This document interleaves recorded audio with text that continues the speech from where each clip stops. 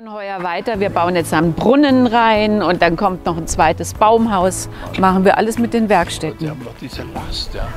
Und wenn Sie es nicht finanziert kriegen, Doch, das kriegen wir finanziert, ja. Ja, wir haben Förderungen das und euch das gehört alles zu uns. Das ist unser ganzes Haus bis daher. Das ist ein riesen L. Boah. Riesen L. Und wir haben natürlich über das Wohnungsamt jetzt auch Aber- Männer aber mit dabei. Sternstunden und Stadt und Land helfen auch alle Ja, mit. sicher. Na, mir nicht, aber der Stiftung. Und Sie haben gesagt, Sie haben Ihre Mitgliederzahl nie erhöht, ne? Nee. Wir sind sieben. Weil das wäre völliger Wahnsinn, wenn wir das machen. Wir müssen selber entscheiden, was wir, was wir machen. Und es ist der ganze Vorstand.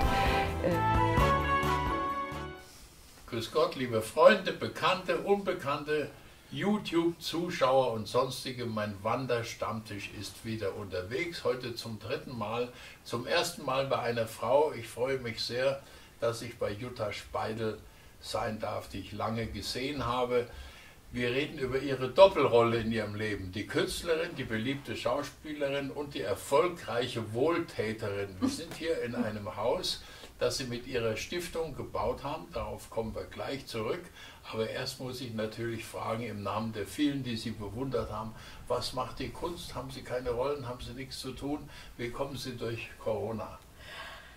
Äh, ich komme nach dem ersten Schock letztes Jahr eigentlich ziemlich gut über die Runden, weil ich hatte das große Glück, dass ich ähm, sowohl noch ein Theaterstück gespielt habe, und zwar wirklich im letzten Moment noch ein kleines Solo, Lippenrot, und dann habe ich einen wunderbaren Film gedreht, einen wirklich sechs Wochen lang in Berlin, eine absolute Hauptrolle, und der wird jetzt irgendwann mal laufen, der heißt Carla Rosalie und das Loch in der Wand. Ich habe immer gesagt, ich spiele das Loch in der Wand, aber nein, ich bin die Rosalie.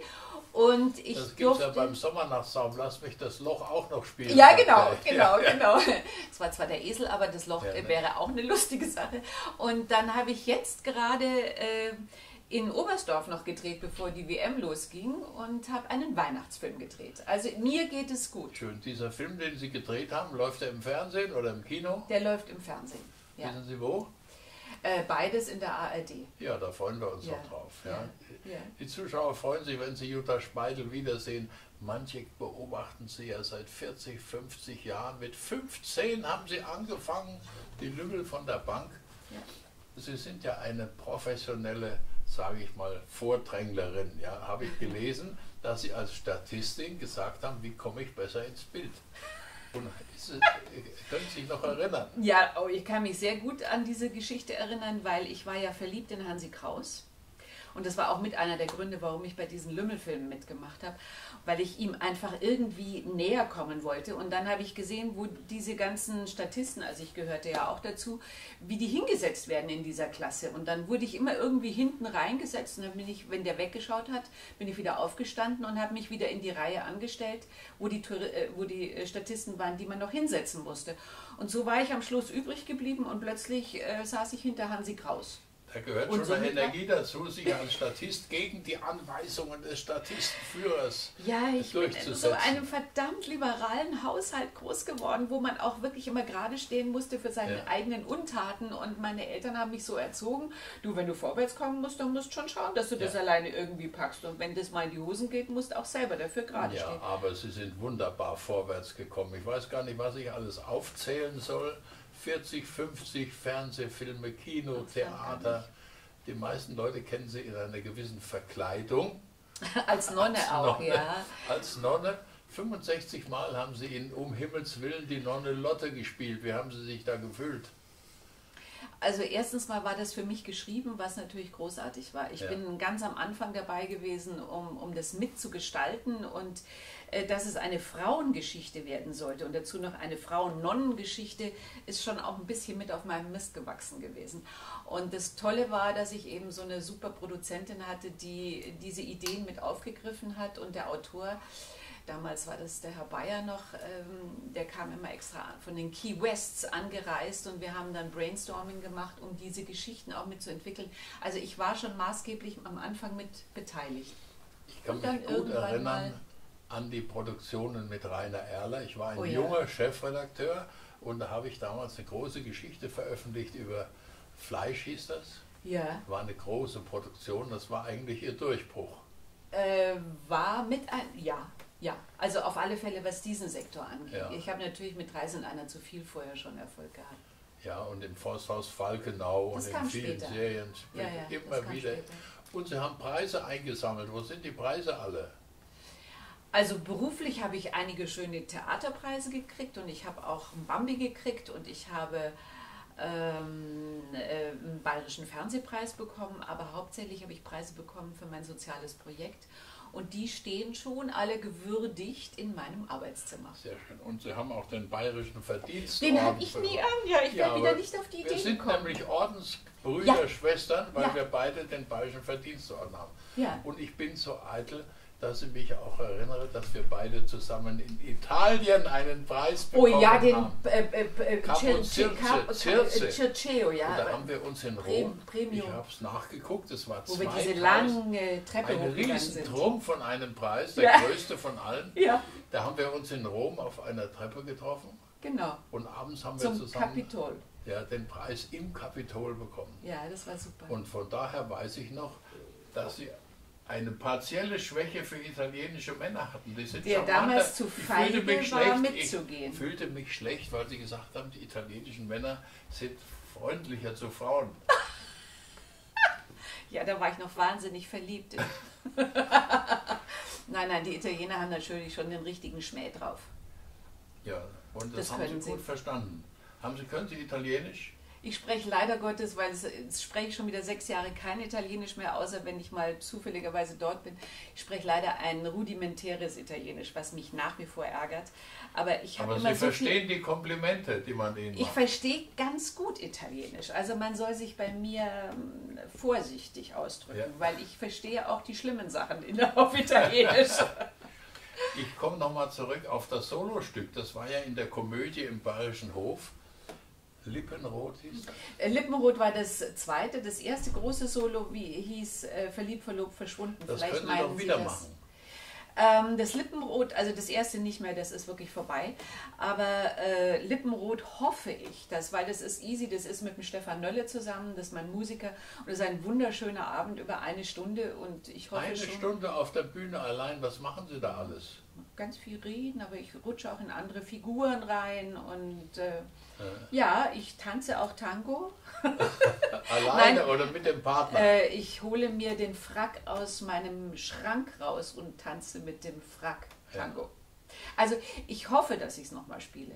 Ja. Ja, also der Professor Peckney von der Komödie im Bayerischen Hof, der wird sich freuen, wenn Sie nochmal auftreten. Das ist auch eine relativ einfache Sache, muss er kein Ensemble zusammentreiben, Nein, zehn Schauspieler. Er hat es und er kann es Late Night. Wir haben es ja Late Night gemacht. Also wir fingen erst um 21 Uhr an. Da wäre praktisch vorher ein ganzes Stück drinnen. Das haben wir auch gemacht. Mhm. Also ich hoffe, es klappt, aber es hängt halt immer davon ab, ob wir überhaupt noch mal auf diese Bühne können. Da müssen wir fest dran glauben. Ja? Ja. Das ist doch ganz wichtig, dass wir wieder ins Theater gehen können. Ich gehe Ja. an den Restaurants vorbei, das ist, furchtbar. doch ganz schrecklich, ist das Ja. doch.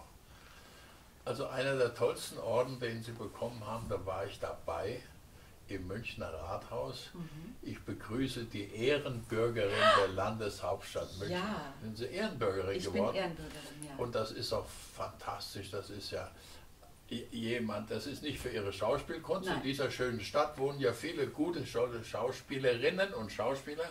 Aber sie haben den Preis bekommen, weil sie sich seit 24 Jahren für Kinder einsetzen. Kinder, Obdachlose. Mütter, Obdachlose. Und wir sind hier in diesem einen Haus. Das andere Haus muss ich mal schnell erzählen. Haben wir schon mal früher darüber gesprochen, das nennen wir nicht, das sagen wir die Adresse nicht. Das ist ein Schutzhaus, wie Sie sagen. Da sind zu beschützende Frauen drin. Und wenn die rabiaten Männer, die vielleicht immer wieder mal einen Wutanfall bekommen, die Adresse wüssten, würden sie vielleicht die Frauen da belästigen. Ja, Naja, also es ist, es ist, äh, ein Schutzhaus ist wirklich, wir sind kein Frauenhaus, wir sind ein Mutter-Kind-Haus. Und dieses Schutzhaus ist natürlich wirklich für diese Frauen, die in ihrer Not, weil es zu Hause einfach effektiv nicht mehr geht und die irgendwo versuchen rauszukommen aus dieser Situation, aber wohin? Ja, es sind ja sehr, sehr viele und das geht durch alle Schichten durch. Also das ist ja das Erstaunliche oder auch das Schlimme dass es äh, vor keiner Schicht Halt macht, auch nicht vor der Professorengattin, die mit ihren Kindern plötzlich mit ein paar Tüten in der Hand vor der Türe steht. Wie finden die Leute ihre Adresse? Wie, woher wissen die, Über- dass Jutta die Speidel sie Polizei. beschützt? Über die Polizei, über Frauenhäuser, über ein Netzwerk aus äh, Bahnhofsmission, äh, Jugendamt, über die ganzen Ämter und natürlich auch übers Wohnungsamt. Also eine Frau, die dringend mit ihren Kindern eine andere Wohnung braucht, geht zum Wohnungsamt. Ne? Aber wir können immer nur sagen, wir haben jetzt was frei. Das sagen wir dann dem Wohnungsamt. Welcher- wenn wir- Wohnungen? äh, Wir haben im ersten Haus haben wir 24 Wohnungen und wir werden jetzt wieder ein Schutzhaus bauen. Das ist allerdings frühestens in drei Jahren fertig. Also wir da hoffen, habe ich was gelesen, was ich nicht verstanden habe. Ja, Compro B-Wohnungen oder sowas. das ist hier. das ist hier. ja. Was sind das? Äh, Das ist eigentlich ein System, was die Stadt aufgestellt hat. Das sind ähm, Wohnungen, die für Familien gedacht sind, die sich so einen normalen Mietpreis gar nicht leisten können, die also eine Sozialhilfe bekommen. Und die bekommen ein Wohngeld, also quasi die Miete vorgestreckt vom Wohnungsamt und müssen bestimmte Kriterien erfüllen. Also das heißt, bei Compro B, es gibt A, B und C. Und Compro B sind Familien, die äh, es geschafft haben, also in der Eigenständigkeit zu leben und wo, sagen wir mal, ein Job in Aussicht ist oder wo die Mutter auch arbeitet und wo ein normales, geregeltes Leben möglich ist, die aber finanziell sehr schlecht gestellt sind nach wie vor. Und wir wurden eben gefragt, wenn wir dieses Haus, also wir hätten dieses Grundstück überhaupt niemals bekommen, wenn wir nicht in dieses System Compro B eingestiegen wären und gesagt hätten, okay, wir bauen jetzt 48 Wohnungen, die sind unterschiedlich groß. Also bis die größten sind 139 Quadratmeter groß. Ja, aber das ist doch sensationell. Der Ausgangspunkt sind die Kinder. Immer. Ist ja kein, also Immer. Wenn eine Frau Und deswegen kommt, haben wir auch Mann so eine riesen- mich, dann kann er woanders hingehen. Äh, wenn nur eine Frau alleine ist, ist sie auch bei uns nicht äh, am richtigen Ort. Da muss sie in ein Frauenhaus. Wir haben die, immer die Kombination Mutter mit Kindern oder Kinder mit einer Mutter. Kinder mit Müttern, so sehe ich es auch. Ja. Das ist eine sensationelle Sache, die sie seit 24 Jahren durchhalten. Da muss man mal die Kraft haben und die Energie. Das ist ja auch eine riesige finanzielle Verantwortung. Ich habe richtig. gelesen, korrigieren Sie mich, wenn ich mir die Zahlen falsch gemerkt habe, 120.000 Euro Fixkosten im Monat, über 2 Millionen im Jahr. Das ist doch eine wahnsinnige Last auf Ihren zarten Schultern. Wie halten Sie das denn aus? Also ich halte es sehr gut aus, weil ich ein hoffnungsloser Optimist bin, aber man darf nicht vergessen, ich habe ein tolles Team um mich herum. Also Ja, die, die Leute, die- Team, das ist toll, das konnte ich auch hier beobachten, 40 Leute, aber die müssen ja bezahlt werden. Das ist ja? richtig. Sind fix, das Aber- Team sind Fixkosten. Ja, aber meine Geschäftsstelle vor allen Dingen, also ich rede jetzt nicht von den Sozialpädagogen, die in den Häusern arbeiten. Das ist eine ganz, ganz großartige Truppe.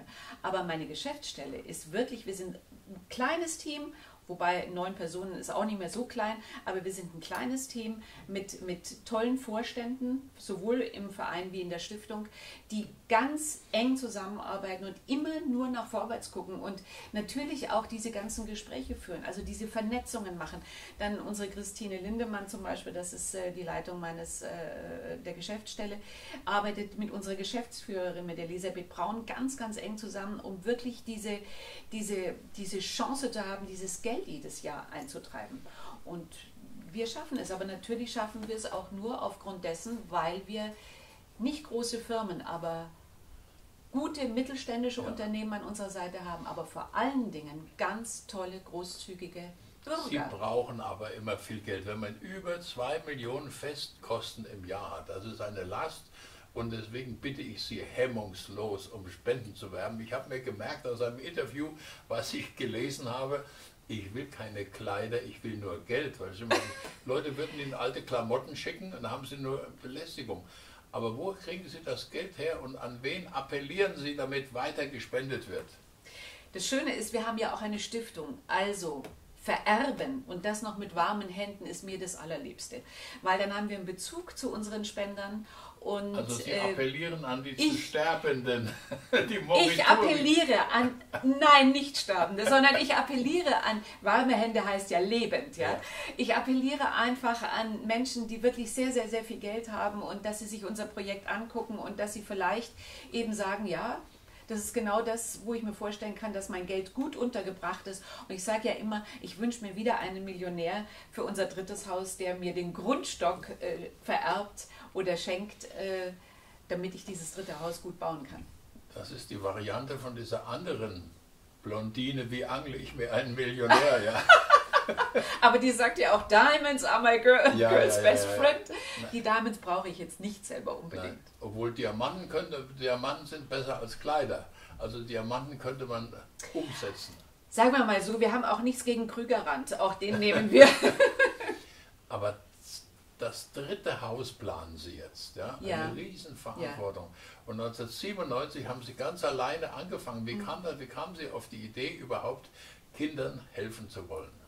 Ach, ich war schon eine ganze Weile eigentlich damit beschäftigt, etwas Eigenes zu finden, weil ich mich so geärgert habe, dass ich in großen Einrichtungen, wo ich auch Geld gesammelt habe und so, nie wirklich an das Klientel kam. Also ich habe nie gesehen, was ist eigentlich passiert mit dem Geld, was ich gesammelt habe. Und da habe ich mir gedacht, ich will auch was haben, was hier vor Ort ist, was in München ist, was München betrifft und bin durch Zufall auf obdachlose Kinder in München gestoßen. Und dann war eigentlich für mich das ganz klar.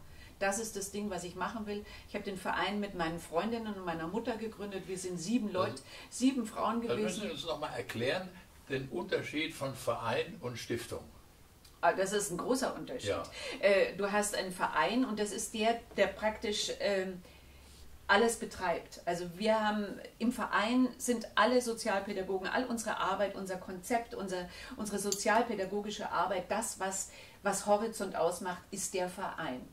Die Stiftung haben wir gegründet, weil wir von einem wunderbaren Menschen, der ein Millionär war, äh, das Geld bekommen haben. Ist der ja jetzt keiner mehr, nachdem er Ihnen gespendet hat? Wie bitte? Ist da jetzt keiner mehr, nachdem Im Moment ist keiner. Im hat? Moment suchen wir. Jetzt ist ja keiner mehr, das Ja. weiß ich nicht. Ich glaube, der ist immer noch einer. Aber der hat uns dann noch 300.000 Euro mehr gegeben, damit wir eine Stiftung gründen, weil er sagte, ihr braucht etwas. Ich bin erst, wo, wa- wa- was eure Sicherheit ist. Ich bin erst sehr erschrocken, weil ich mir dachte, eine Stiftung, dann muss ich nochmal einen Apparat aufmachen. Aber es läuft sehr gut Hand in Hand. In die Stiftungen kommen die großen Beträge rein. Also wir werden das dritte Haus mit der Stiftung natürlich bauen.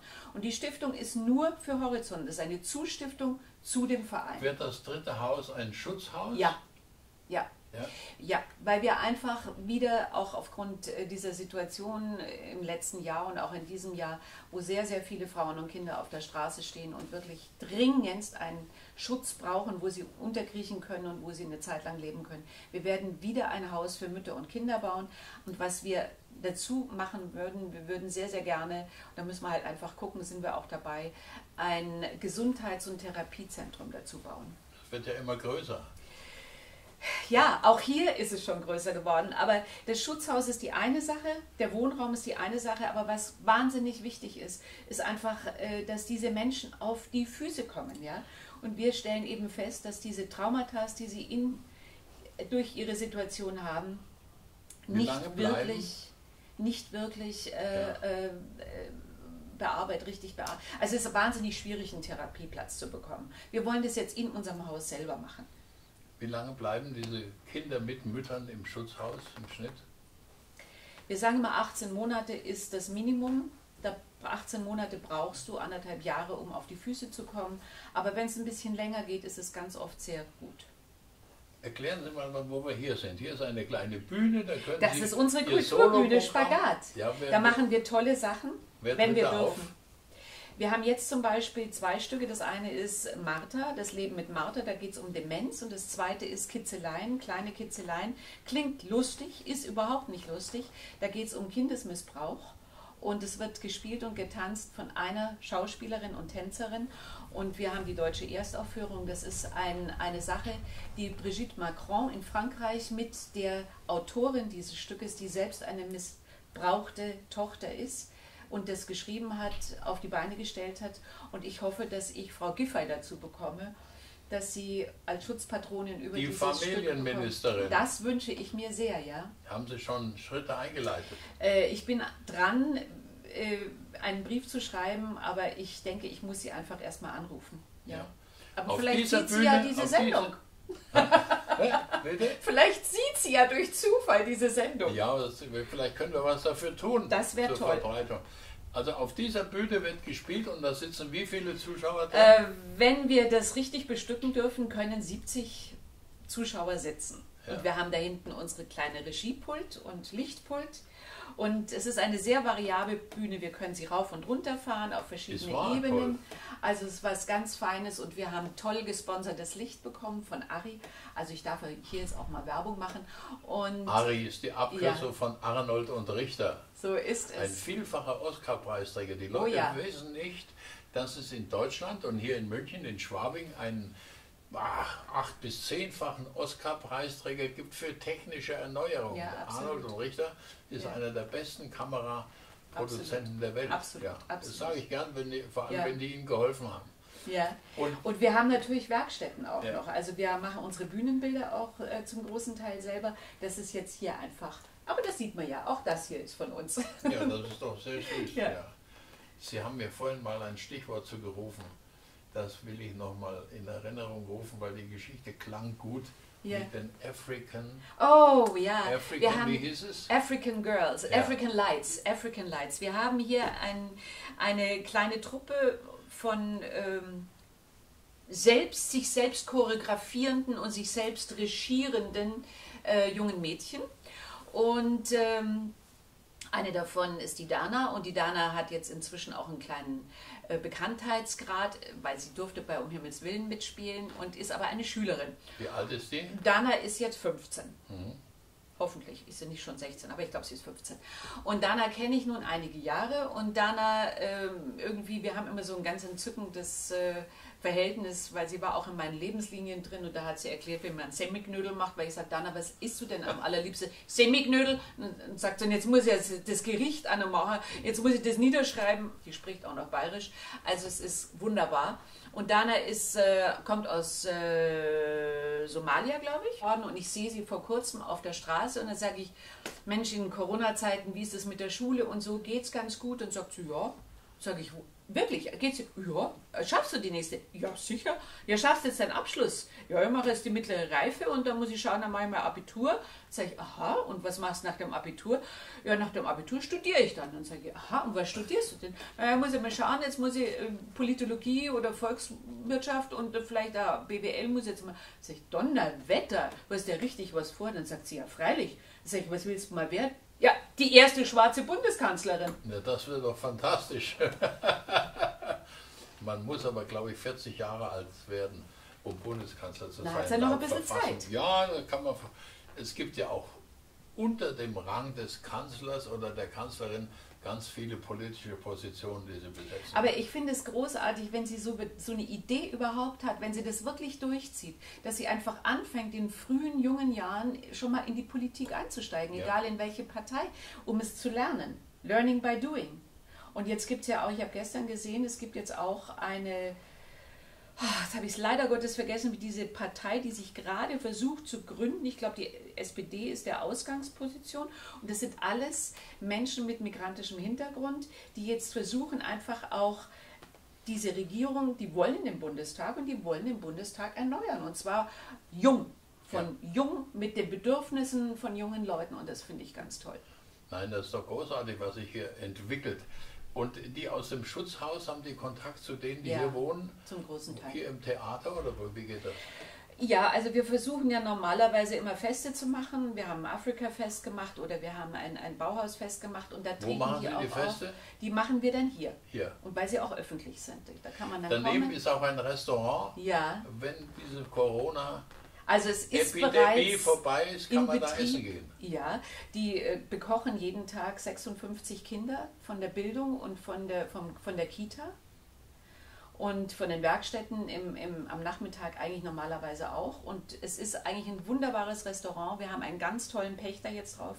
Das ist Don Osvaldo, wie ich immer sage, Selito. Und ich hoffe doch Offenbar sehr. ein Italiener. Es ist ein Italiener, aber einer, der auch perfekt Deutsch spricht und der international auch Ja. kocht. Also hier kriegst du nicht nur einfach die Pizza, sondern hier kriegst du richtig gutes Essen. Das ist sehr schön. Da komme ich mal her. Unbedingt. Und wir können eben auch hier in dieser Verbindung mit Kulturbühne und Restaurant und in Werkstätten so viel machen. Die Werkstätten muss ich euch noch zeigen, unbedingt. Die gucken wir uns noch an. Ja. Sie, Sie, ich kenne Sie ja seit Jahren, beobachte ich Sie persönlich und auf der Bühne und im Fernsehen und ich bin begeistert von diesem Horizont e.V. Wir werden natürlich die Spendenkonto, das Spendenkonto einblenden, damit Ihnen viele Millionäre diesen gewalt, gewaltige Last von der Schulter nehmen. Aber ihre, ich habe was gelesen, was ich nicht verstehen kann, was mich auch egoistisch interessiert. Sie haben gesagt, für die Stimmung nehme ich Frauenmantel. Was ist das denn? Wann habe ich das denn gesagt? Nicht, ist wahr? Weiß ich, also Frauenmantel. Frauenmantel und Schafgabe haben Sie genannt. Das ah, das war, glaube ich, in diesem einen Sender. Ja, ja, ja, ja, ja. Da haben, haben wir so einen Strauß gepflückt auf einer Wiese. Ja, da ging es um Kräuter. Und Frauenmantel ist eine tolle Sache, eigentlich, wenn man schwanger ist. Ne? Wenn man milchbildend. Ja, also, das äh, betrifft mich jetzt weniger. Mich jetzt auch, ich nicht, auch gedacht, nicht mehr. aber also, Sie haben zwei tolle aber Töchter. Ich habe doch, das meine bringt eine mich Tochter. auf Ihre tollen Töchter, ja. Mhm. Über die haben wir schon mal in einer anderen Sendung gesprochen. Die eine ist auch künstlerisch tätig, ne? Ja, und die hat einen Laden in Berlin und die wird jetzt gerade Mama. Die muss Frauenmantel trinken. Frauen. Der schmeckt nicht gut. Trinkt man das, gibt es das als Getränk? Oder ja, was? kannst du natürlich äh, beim Wurzelzepp in, in München kriegen und so. Also das ist äh, Frauenmantel, kann man auch in Apotheken kaufen. Gehört. Schmeckt scheußlich. Ja, pfui Teufel. Ja. Heißt ja auch nicht mehr Herrenmantel. ja, im Namen der Genderei wird es vielleicht mal umbenannt. Aber die Töchter nochmal, mit der einen treten sie auch auf. Äh, wir haben eigentlich zwei äh, schöne Abende. Der eine ist äh, Felicitissima Notte, das ist ein, ein italienischer, die Reise von, von Goethe nach Italien und sie singt Bel Canto. Und der andere ist unser Billie Holiday Abend. Und beides können wir leider nicht machen. Aber wenn wir es wieder machen wer dürfen, macht, dann gibt es das hier. Billie Holiday? Meine Tochter. Sie nicht? Nee, Hä? ich lese die Geschichte von Billie ja, Holiday. Das ist auch eine spannende Geschichte. Sehr. Und vor allen Dingen auch eine, die genau hier in dieses Haus reinpasst. Ne? Ja, ich, ich, ich bin wahnsinnig gespannt auf Ihren Soloabend in der Komödie, ja. die ich ja immer gerne unterstütze. Ich habe da selber mal ein paar Mal gespielt. Ich ja. weiß. Und äh, da freue ich mich, wenn die, da treibe ich mich mal das Theater voll. Das hat ja ich immerhin hoffe, 530 ja. Plätze, ja. die Komödie. Ja. Das finde ich toll. Wir haben schon gespielt vor 80. Also wir durften schon gar nicht mehr die ganzen Leute. Ich glaube, die Premiere hatte noch irgendwie 120 oder so. Das war Ausnahme und dann Schrecklich ist das. wir nur noch 80. Also aber es ist besser vor 80 Leuten zu spielen. Mit dem Solo ja. Nicht. Aber, aber ich möchte kein großes Stück spielen vor 80 Leuten, auch wenn das jetzt blöd klingt, aber das ist einfach äh, ist eine komische Geschichte. Aber ich habe im Gärtnerplatztheater habe ich Don, Don, Juan, also eine Lesung gemacht und da waren ja nur fünf, sechs aus dem Haus da drin gesessen und trotzdem, es war doll mit diesem Orchester, also hat mir schon auch gut gefallen. Sie haben auch in Bad Hersfeld gespielt. Oh, das ist lang her, ja. Hm? Ja, 1800 Was? Leute. Was haben Sie da gespielt? Viele Stücke. Ich habe gespielt ähm, die Ophelia in Hamlet, dann habe ich gespielt äh, die Buhlschaft in Ein Jedermann. Dann habe ich die Blanca von Kastilien in König Johann gespielt. Und dann habe ich noch ein Brecht gespielt, äh, die Eva, die Eva Puntilla aus äh, Herr Puntilla und sein Knecht Matti. So toll. Dieses Riesenrepertoire in Ihnen muss doch wieder geweckt werden. Ach, das ist schon immer geweckt. Ja, das, ja. ja aber äh, in Ihrem Kopf ist es drin, in Ihrem ja. Gemüt. Aber ich meine, dass Regisseure und Intendanten kommen und sagen, Jutta, spielen Sie bei mir. Haben Sie da Hoffnungen? Doch, auf alle Fälle. Ja, auf alle Fälle.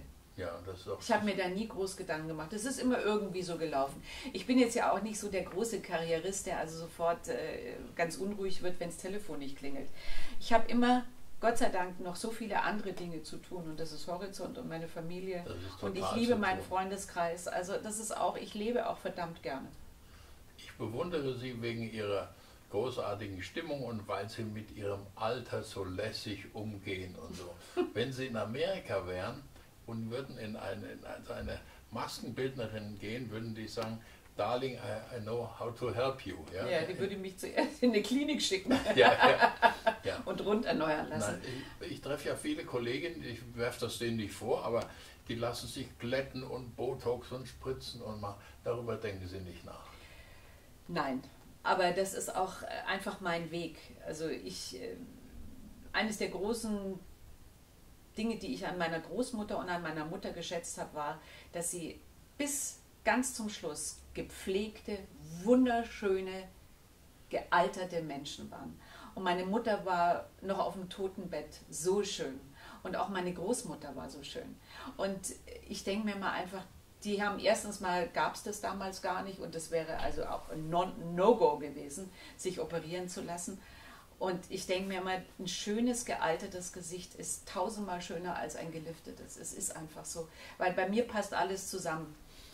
Ich sage und schlägt der Arsch auch Falten, wir bleiben doch die Alten, hat die, Oma gesagt. Ich sage mal, Jutta Speidel und Simone Signoret sind zwei Prototypen. Zwei Prototypen. Ja dieser in Würde gealterten Schauspielerin, die in jeder Lebensphase bei sich selbst war.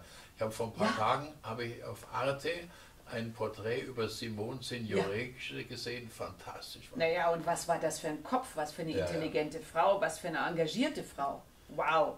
Ja. Danke, dass ich mit der auf einer Ebene genannt werde. Herzlichen ich Dank. Ich wollte sie hochheben, aber da gehört you sie make auch my day. Gut so. Also es freut mich sehr. Jetzt gucken wir uns noch ein bisschen im Haus um, soweit mhm. wir das dürfen. Ich spüre hier ist ein positiver Geist den wollen wir weitergeben in unserer Sendung. Ich sitze auch in diesem Stuhl vom Hopsala, um Gottes Willen. Das ist wie im Film, das ist aber, der Scheinwerfer umfällt. Ja, jö, jö, habe ich jetzt die Lampe kaputt gemacht? Ja, die habe ich jetzt kaputt gemacht. Sorry. Die brauchen wir jetzt nicht. Jetzt Sorry. setzt sich wieder hin. Ja. Und äh, nachdem Sie schon über Mutter und Großmutter ja. gesprochen haben, erklären Sie jetzt, uns jetzt den Vater. Ich sitze jetzt in einem Stuhl, den mein Vater restauriert hat, der meinem Großvater gehört hat. Der hat irgendwie hat er den Krieg überlebt und er war in fürchterlichem Zustand und er ist wieder hergerichtet worden und stand 20 Jahre beim Keller von meinen Eltern und jetzt habe ich den hier der Kulturbühne gewidmet und habe das Kissen selber genäht. Er steht Ihnen gut. Dankeschön. Ich bedanke mich herzlich, Jutta Speidel. Alles Gute. Danke. Und wir trommeln für Sie. Ja, wenn ich irgendwo einen Millionär treffe und der weiß nicht, Festhalten. wohin mit dem Geld, da sage ich, ich habe da eine Adresse. Okay, alles genau. Gute. Danke.